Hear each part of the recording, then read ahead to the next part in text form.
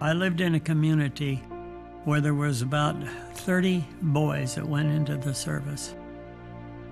My brother Bill, he he wanted to go in so bad. He was in the Air Force along with my other two brothers. They were in the Air Force also. They were all three pilots. He uh, went over to the South Pacific. On the mission that he went on, he got shot down. On Christmas Eve, we got the message that Bill was killed.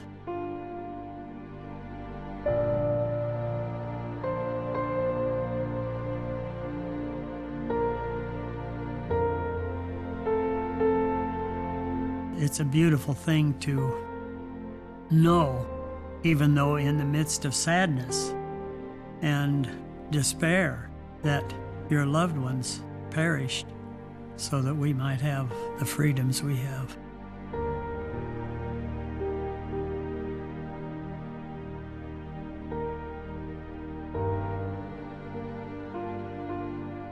I would like to express my thanks to all the people, all the, the, the, men and women that have served our country and have perished so that we might have the freedoms that we have today.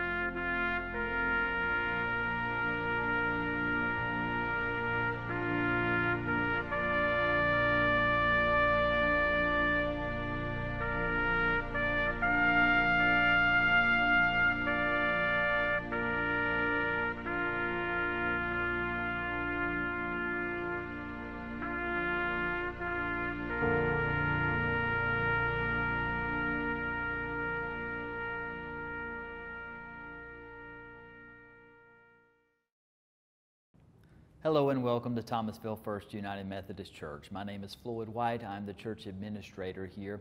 And before we begin our worship service, I wanted to take a moment to lift up those that we celebrate this Memorial Day weekend, uh, those who gave the ultimate sacrifice for our freedoms. Let's go to God in prayer.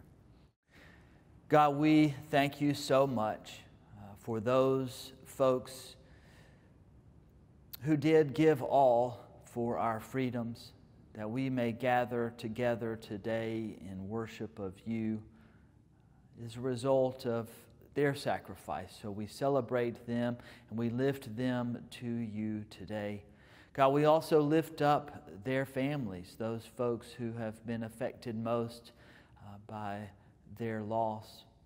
God, we lift them up to you and pray that you would provide the care that only you can. God, remind us uh, today how uh, precious life is uh, and how precious our freedoms are. We thank you for our country uh, and lift it to your care as well.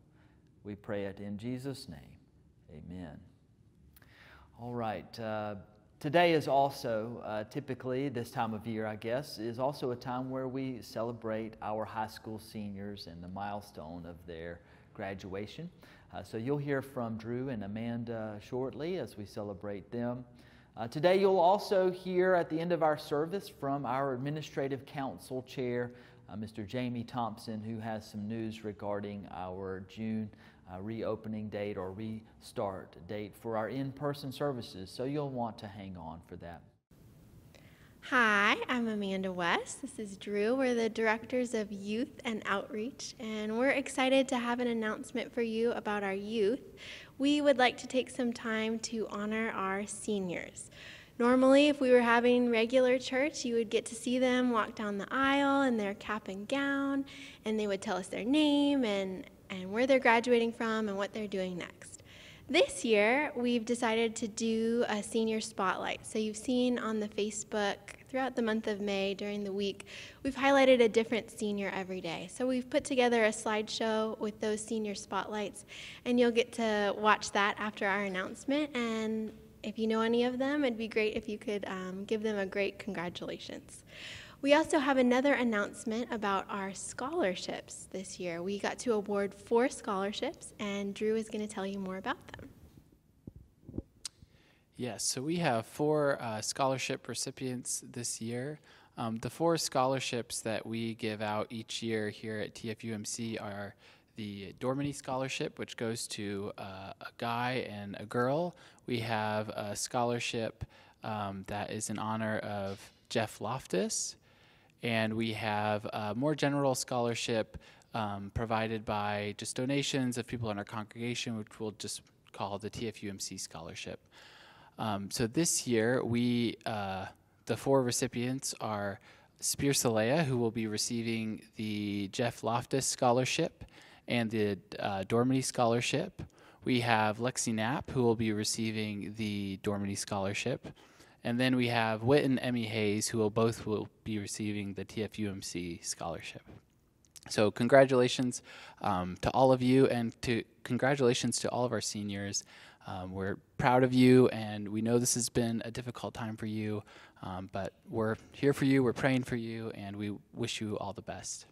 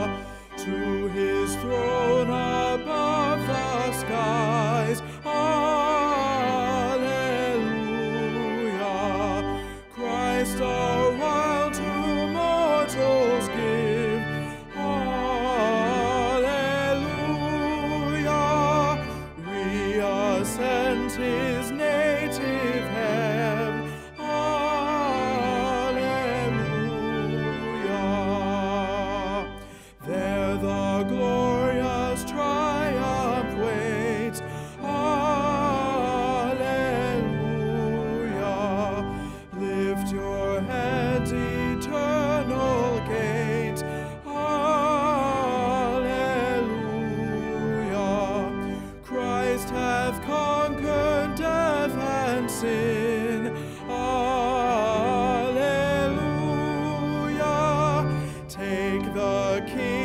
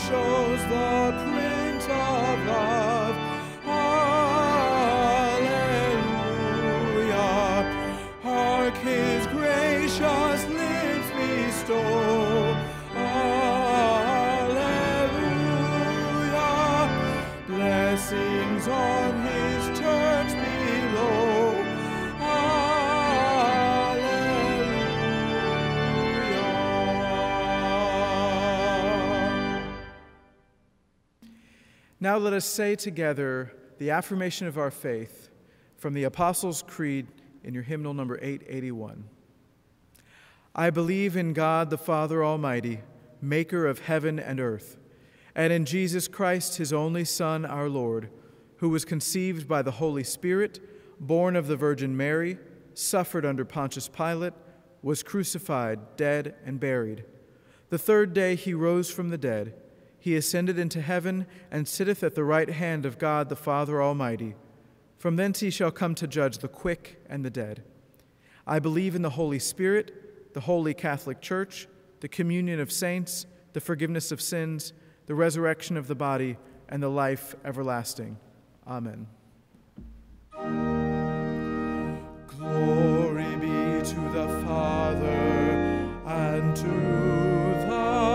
Son, and to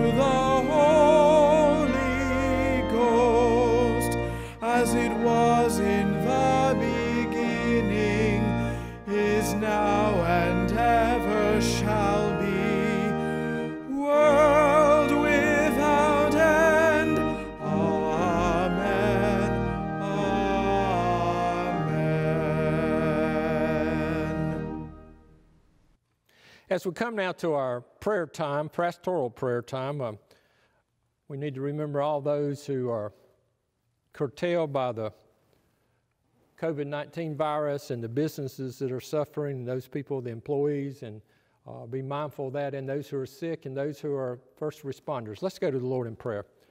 Dear Heavenly Father, we know that we're still, as we're even opening up, we're still in the midst of a pandemic worldwide. And we ask that you, Lord, be with those who are sick and their loved ones, that you might minister to them and make them sensitive and ease their fear and let them know you love them and have your t- Holy Spirit touch them. Ask you to be with the doctors and nurses and all those EMTs who are rushing people and caring for people, and they have all the regular duties and the regular problems with people with heart conditions and blood pressure and accidents, and then also those who are sick with this. We know that we're not in a hot spot, but just north of us in Albany is a hot spot, and there are others throughout this country and the world. We ask to be with the doctors who are working on tests and also working to manufacture, get those up to speed. And we know some areas have more tests than they need, and others don't have enough, that they might sort that out and be with those doctors, multiple doctors in multiple places in multiple countries who are working on a vaccine. Normally, we, we're told it takes anywhere from a year to three years to come up with a vaccine for a new disease, and we ask you to be with them that it might come quicker than that, where people feel safe and secure. But we ask that you might ease the panic among people as long as they take reasonable precautions and washing hands and distancing and wearing a mask when in public that might minimize the spread of this disease. I ask the Lord to be with our firefighters, law enforcement, who are also dealing with this on top of their regular duties, and we ask you to protect them. ask you to be with the EMTs and protect them, and ask you to be with all those who are at home with the kids because there is no school, and we they've been with them for weeks, and we ask you to be with them, especially as employers start opening up, and some might have to go to work, and child care will be an issue.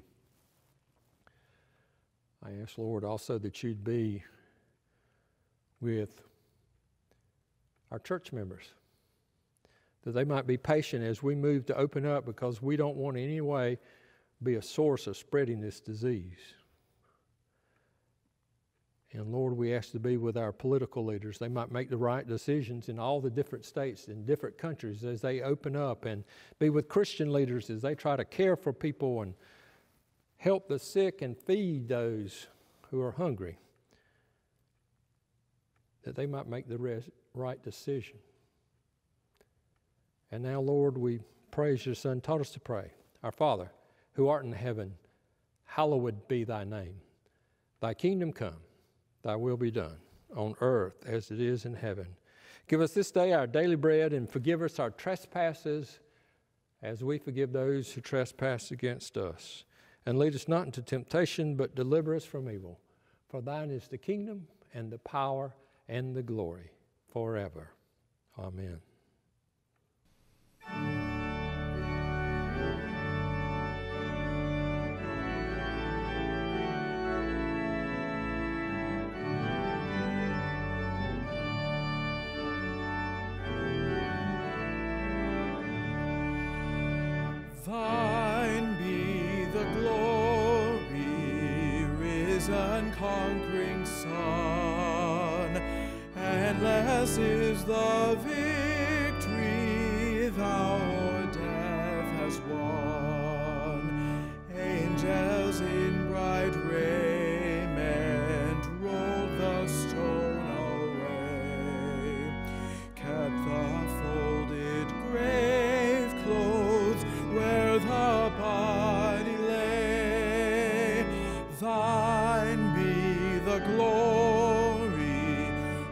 Risen, conquering Son.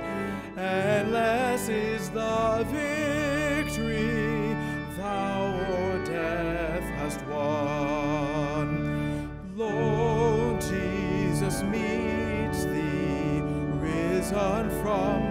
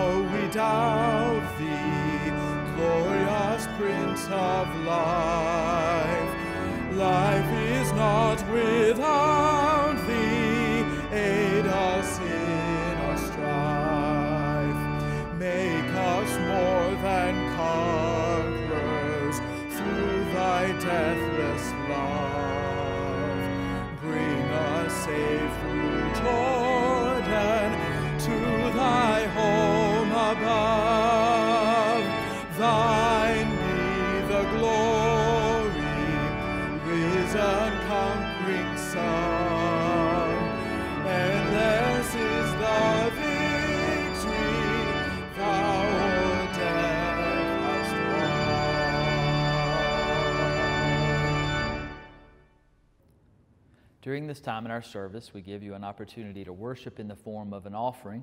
There are several ways that you can give at Thomasville First United Methodist Church. Of course, you can uh, bring by your offering to the church office at 425 North Broad Street. Uh, of course, you can mail in your offering if you would like to P.O. Box 975 here in Thomasville. That's area code 31799. Uh, but we also have some other ways that you can give. You can give online right now through our website at tfumc.com.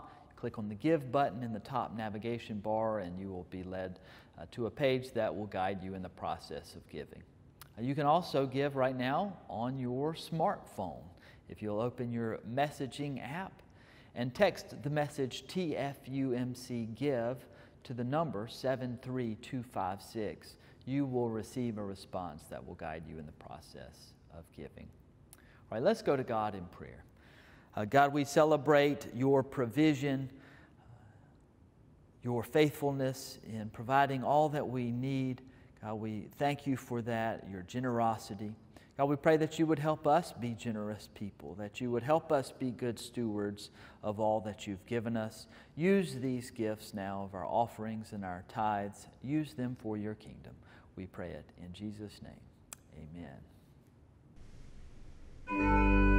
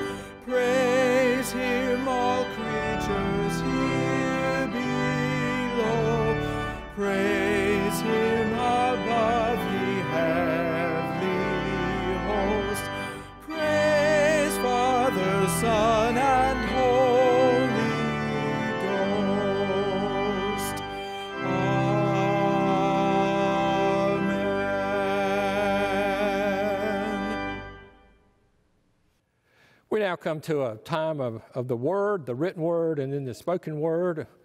Uh, again, we're looking at Jesus as he goes to the cross and he's trying to prepare his disciples then and explain to them what's really going on that they can understand it later, and for us today that we can fully understand what he did at the cross of Calvary. And then the resurrection, and then the ascension, and the second coming. He's coming back. Let's pray. Dear Heavenly Father, as we look, listen to your word read, may you illuminate to our heart and mind and our very soul what you want us to hear as individual Christians and as individual Christians who are part of the community of faith, the church, that we might be more like what you want us to be. It's in your Son, Jesus Christ's name, we pray. Amen. Uh, we're looking at John's Gospel again, chapter 17, verse 1 through 11. And some of you, if you're looking on in your Bible, it'll say the high priestly prayer. Jesus spoke these things, lifting up his eyes to heaven, and he said, Father, the hour has come, glorify your Son, that he, your Son may glorify you. Even as you have given him authority over all flesh, that to all whom you have given him, he may give eternal life. This is eternal life, that they may know you, the only true God, and Jesus Christ, whom you have sent. I glorified you on the earth, having accomplished the work which you have given me to do. Now, Father, Glorify me together with yourself, with the glory which I have with you before the world was. I have manifested your name to the men whom you gave me out of the world, and they were yours, and you gave them to me, and I have kept your word. Now I had to come to know that everything you have given me is from you, Father.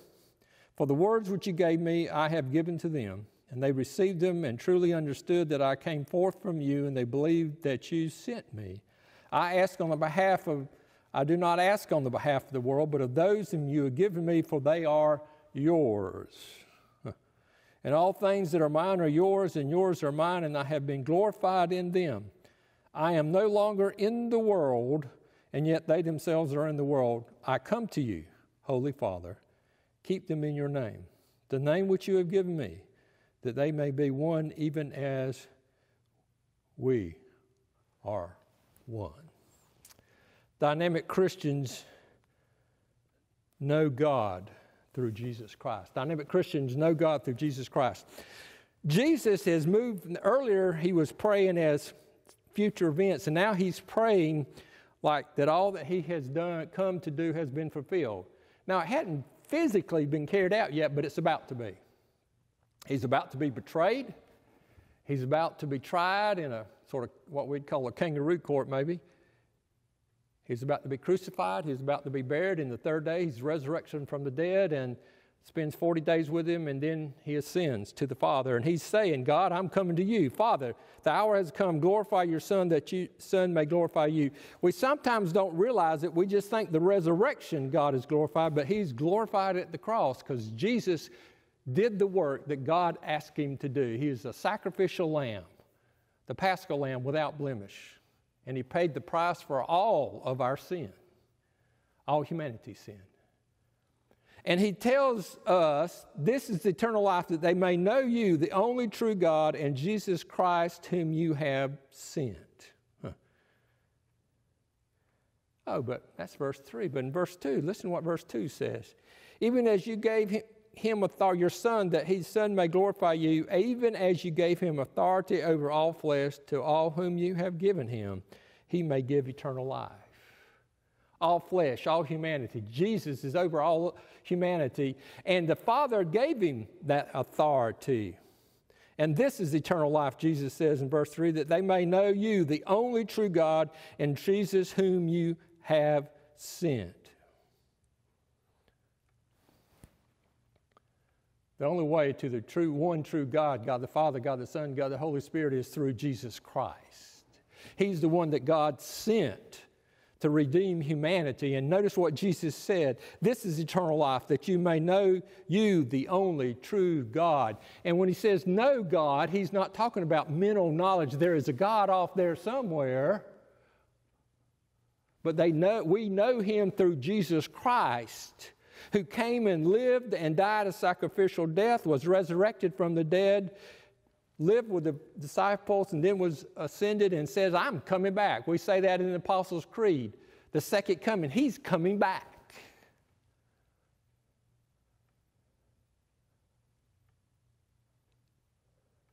And eternal life is to know the one true God, and we get to that one true God through Jesus. And knowing God is more than mental knowledge. We have experienced Him through the power of the Holy Spirit. The Holy Spirit convicts us of our sin.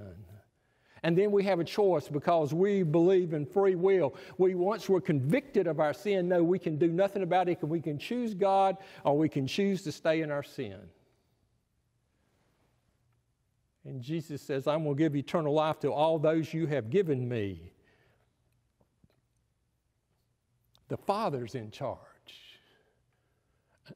And the Son did what the Father wanted him to do. And God was glorified in that, and Jesus, God the Father, and Jesus says, Glorify me that I might glorify you, Father. We know as believers through Jesus Christ is our only way to the one true God.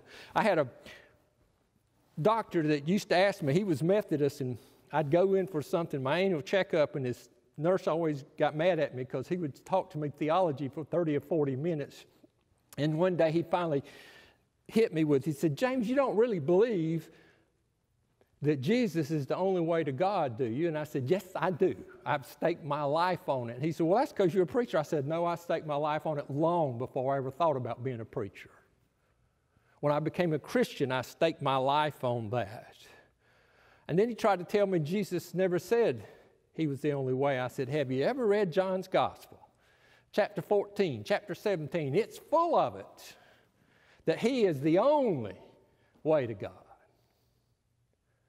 John wrote the book with the emphasis we call the Gospel of John. John wrote that book inspired by the Holy Spirit, hence inspired by God, to present evidence that Jesus is the Messiah and the way to God, the long awaited Messiah of the Jewish people. But he wasn't just for the Jewish people, he was for all humanity. And Jesus makes it clear He is the way. When He says only, He means only way to the Father, the one true God. He's not a God number two. We don't have three gods, we have one God. Notice He says, I want them to be one. We're going to get to that in more detail in a minute, as we are one, Father. Father, Son, Holy Spirit, they are one. We don't quite understand how they do that, but we accept it by faith. We don't worship three gods, we worship one God in three persons. And knowing God is not just knowledge about who He is, but we experience Him through Jesus and the power of the Holy Spirit to come into our heart and reside with us and live with us. It's a relationship. It's not just some rules and guides and religious beliefs, it is a relationship with God the Father established through the Son and his atoning work on the cross of Calvary. That's at the heart of Christianity. And Jesus makes it plain here. He did what the Father wanted him to do.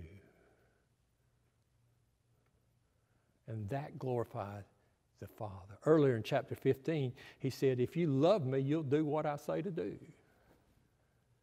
His example we have is Jesus Christ. He did what the Father asked him to do. But just as dynamic Christians know Jesus Christ for eternal life, dynamic Christians united through the power of the Holy Spirit. Dynamic Christians, we are united through the power of the Holy Spirit. Notice Jesus said, I want them to be one as we are one. Verse 8 For the words which you gave me, I have given to them, and they received them and truly understood that I came from you, and they believed that you sent me. I ask on their behalf. I do not ask on behalf of the world, but those whom you have given me, for they are yours. And all things that are mine are yours, and yours are mine, and I have been glorified in them the ones who have been given them. We don't really understand what it means. It means the Father gave him those who were going to believe. He knew who was going to believe. We're not those who believe in double predestination. Some are predestined for heaven and some are predestined for hell. But God knows the future. God knows who's going to choose him and those he gave to Jesus to give eternal life. Remember, what we call time is a human construct. God is eternal. Time means he's outside of time. Don't quite understand that, but I do. He's not limited like we are limited. Verse 11 I am, Jesus said, I am no longer in the world, and yet they themselves are in the world. And I came to you, Holy Father, keep them in your name, the name which you have given me, that they may be one, even as we are one.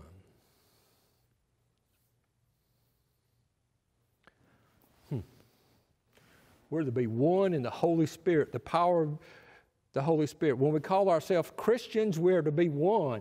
When we call ourselves brothers and sisters in Christ, I sometimes sign my letters or cards, your brother in Christ. That's a strong bond. We're brothers and sisters in Christ with people on other continents. We're united by the power of the Holy Spirit. We're united because we know God through Jesus Christ. And that unity is greater than anything that might divide us, the world, Satan, might use to divide us. I get so tired of people saying, well, the young folks want this and the old folks want this. We are the people and the body of Christ Jesus. Doesn't matter how old you are, doesn't matter if you're male or female, doesn't matter if you're young or old, rich or poor. None of that matters. None of that is as significant as what unites us. We're the body of Christ Jesus. There's a book about the body, one body.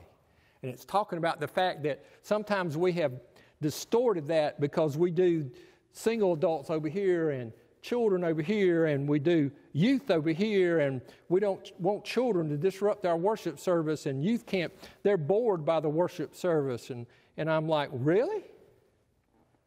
We're the body of christ. There's nothing wrong with us all worshiping together. I know some young children the parents couldn't pay attention because they'd be crying. I understand nursery children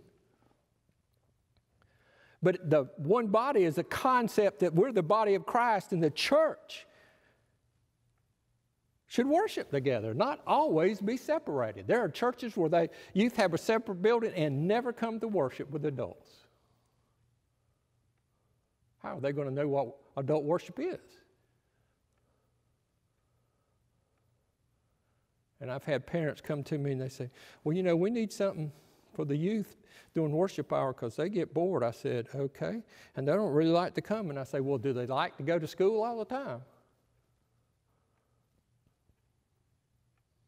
I'm not saying they have to come to a structured traditional service, but at times we're to worship as the body of Christ.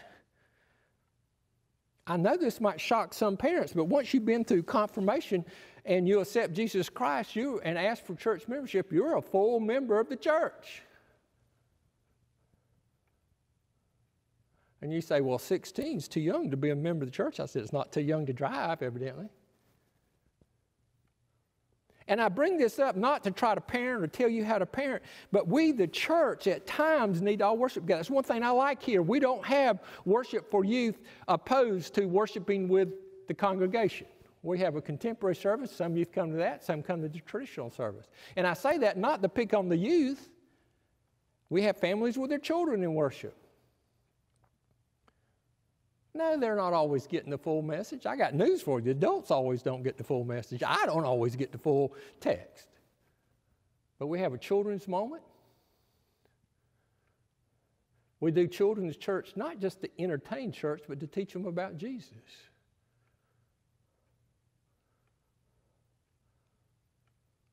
We're to teach them the songs, and um, from what I've experienced, most youth enjoy contemporary worship. Not all, but most.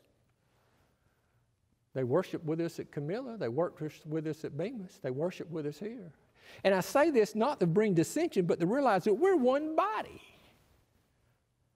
I don't care what your ethnicity is. I don't even care what your language is. I preached where there were four, well, three translators going on because we had four languages that were understood there. I probably bored them to death because The translators would get mad at me because they said I talked too fast, so I had to slow down.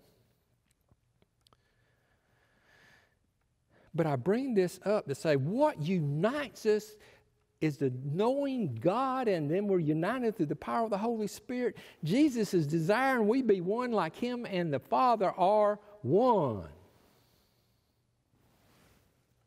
We might have differences of opinions about things, but we're the body of Christ. I've seen churches split over the color of the new carpet. How ludicrous. That usually has nothing to do with the color of the carpet. It's about a power struggle in the church. We're to be united in Christ Jesus, and that's more important than young and old. People tell me as young people they value their grandparents, then why can't a child value a 90 year old that's not biologically related but is stronger relationship through the blood of Jesus Christ? They're a part of the body of Christ. We, the church, have the mission to minister to every child and youth that are in our way of helping that we can help. Good Samaritan story. I had the privilege of pastoring a church where people had the heartfelt for these children that the parents didn't bring to church, and the parents said it was okay. And we brought them to church and we taught them, and I had church members to complain about those children. And I said, We're teaching them about Jesus. And when they reached a certain age, we had them in the congregation, and some of the parent, people that didn't have children fussed about how loud they were. And I said, Well, why don't you go down there and sit with them and encourage them to be quiet and listen to the music? I had a group of about six or eight men and women. All I had to do was call a first name, and they knew where the noise was coming from, and they'd go easy in and sit with them. Sit between them were people that couldn't sit beside each other without causing a scene. You know, if you've had two children, you know what that's like. He touched me, he looked at me. We're one body in Christ Jesus. We work together to bring glory to God, the Father, the Son, and the Holy Spirit. Once we're believers, it's not about us, it's about Almighty God. And we, the church, can never forget that. It's about God. And when we minister to somebody else, it's in the name of God to bring glory to the Father, the Son, and the Holy Spirit, not to us, not to the church, not to our denomination. It's to bring glory to God, the Father, the Son, and the Holy Spirit. By the way, that's what worship is about God. He deserves our worship all the time, 24 7. I hear from you that you miss being here. Well, let me tell you, the staff misses seeing you. It seems like years, and I know it's only been weeks and months since I've seen some of you. I run into you in town. We ran into Diane and I were shopping Saturday. We ran into several members at Walmart and we talked. We all had our little mask on and we talked. We didn't get too close, but we talked. Sometimes it's hard for me to recognize who you are. You, you might have to speak to me because I'm not used to seeing you with a mask. Y'all probably think I look better with a mask because it hides some of me. It's strange. I've told some of you preaching to an empty sanctuary is a little challenging. But I've gotten used to it. The worst part is I can't move. Y'all probably happy I can't move. But we miss y'all too. There's something special about drawing together, but we're not going to rush back into that. I don't want the church to be a source of spreading COVID 19. I don't think any of y'all want that. The staff has been very good, and we've had volunteers. We got Katie filming again today. To do all this work that takes it to be done. And Tim's busy recruiting more volunteers. Well, we're going to keep this on. Once this, five years from now, we want to be streaming live. And it'll be up still on Facebook and YouTube where you can watch it later if you miss it live. But we want people to see what we do in worship. We have people watch us that aren't members and aren't even in town. That's a good thing. We're the body of Christ Jesus, and what unites us is far greater than anything that divides us. We, the church, cannot function if we forget that. Well, we can't function the way God wants us to. Do you understand what Jesus has asked the Father to do? To give us the oneness that He and the Father and the Holy Spirit have. To be one like we are one. And Jesus tells us in this passage that He wants to be one with the Father like He was before the creation of the universe in this passage. He longs to be back with the Father.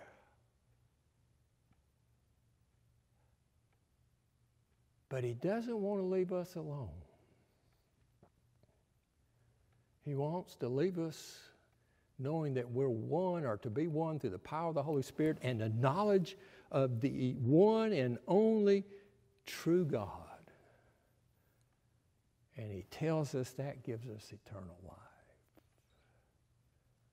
Thanks be to God. Let's pray. Dear Heavenly Father, I thank you for the opportunity that you have prepared this word for us, this written word, and protected it for 2,000 years. And we're thankful. Lord God, maybe your spirit spoke to someone and they need to pray for someone else, or maybe pray for themselves, or maybe pray for themselves and someone else, or maybe they were convicted they're not a believer yet. They don't know Jesus Christ. They might turn to Him right now through the power of your Holy Spirit and say, Lord, I want to turn from my sin and turn towards you, and I want to be one with you, the one true God. And they might make that decision in prayer and turn to you now. Or maybe your Holy Spirit has laid on the heart of someone they need to call or they need to contact or they need to send a note or an email or text because they might be lonely or they themselves might be lonely and they might reach out to someone because we do care. We just sometimes get busy and forget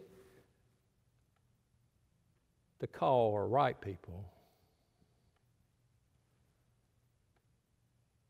Lord God, as we sing, may you lead people in the way that they need to glorify you. It's in Jesus Christ's name we pray. Amen.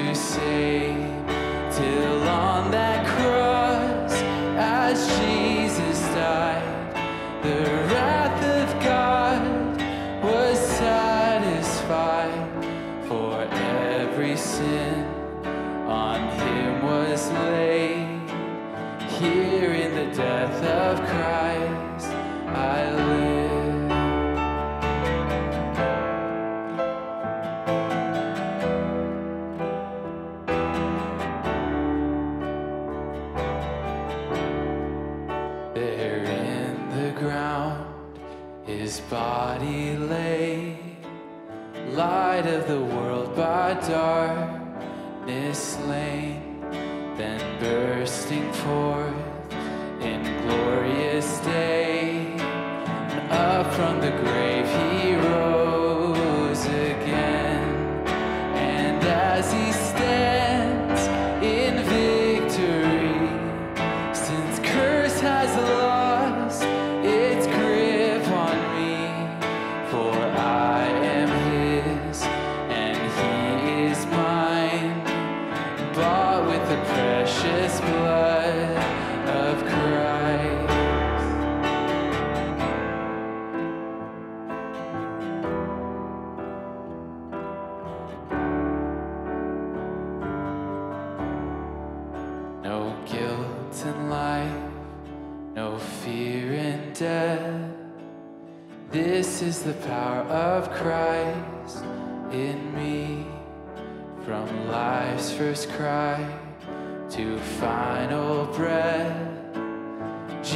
Jesus commands my destiny.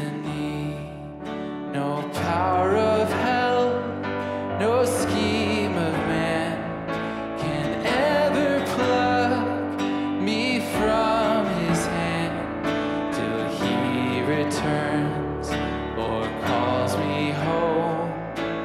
Here in the power of Christ I stand.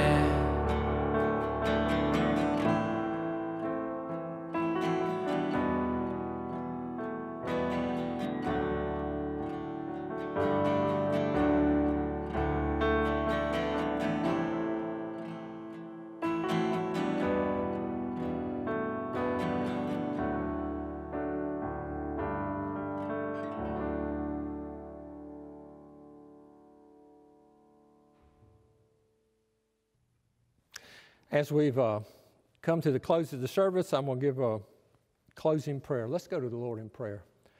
Dear Heavenly Father, I ask your blessings upon these people each morning of the week as they get up, that you remind them how much you care about them and want to and love them and want to bless their lives, and that you want to bless someone else through them this day, every day of their lives. And as they come to the time of getting prepared for bed and they go to bed, may you remind them how much you love them and care about them and how they are united with every believer in the world through their knowledge of you, the one true God, and through the power of the indwelling Holy Spirit. We are one in the power of the Lord. It's in your holy Son, Jesus Christ's name, we pray. Amen. Hello, my name is Jamie Thompson. I serve as the chair of the Administrative Council here at Thomasville First United Methodist Church. I'm here today to bring you a message. Uh, I want to let you know that the Administrative Council met uh, and we voted on having a opening of the Thomasville First United Methodist on June the 21st. Um, I know that we sent out a date of June the 28th. Um, some discussions took place with staff and lay, lay people here at the church, and uh, we feel that we can uh, have a, an opening on the 21st to help facilitate a better experience on the 28th, to be honest with you. Um, there's some things that we need to work out uh, as far as seating, as far as uh, safety protocols, um, and we, we want to do that on the 21st. We'll ask, there'll be some logistics that'll come out on how we're going to do that, but you can look forward to that um, news coming from the church. Um, we want you to know that the 21st, the 28th, the middle of July, no matter uh, what date it is, if you don't feel comfortable, if you're a person who is at risk, if you um, if you'd rather continue your experience at home with the great job that our staff has been doing with delivering that message online, that service will continue. Um, we're even looking at having live streaming of the service, so it'll actually be an enhanced service at home, um, and, and we promote that. If you don't feel comfortable, then by all means stay at home until you do. Uh, the church is here for you. Um, all you have to do is call the office. You can speak, speak to a staff member. Um, again, I'm here today just to let you know that the uh, opening date changed from the 28th to the 21st. Uh, has been uh, voted on by the admin council, and we're excited uh, to begin phase one of the church opening.